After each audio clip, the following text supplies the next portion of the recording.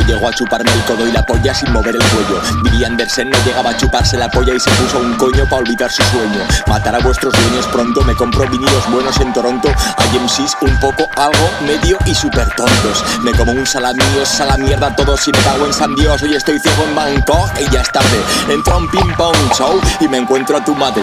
Pero qué zorra y qué notas. Es la que más lejos llega con las pelotas. De notas muy deficiente, deficiente y necesita mejorar. Mirad, yo no tengo liquidez, pero me da que os voy a liquidar.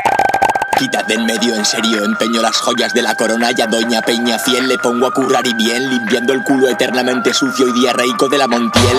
Contén tu horror, haz el favor, confiar en Dios es decir adiós a tu valor. Al Dor, al Sir y a todos los Grimaldi, los pongo a currar de lunes a domingo en un Aldi. Asesino estilo Garibaldi, vivo al día con seis cojones, estoy comiendo con Vivaldi una pizza, cinco estaciones, escuchando sus cuatro estaciones. 3, 2, 1 y un cero empalado tienes. Ansía sentirte importante, observado, en verdad eso quieres.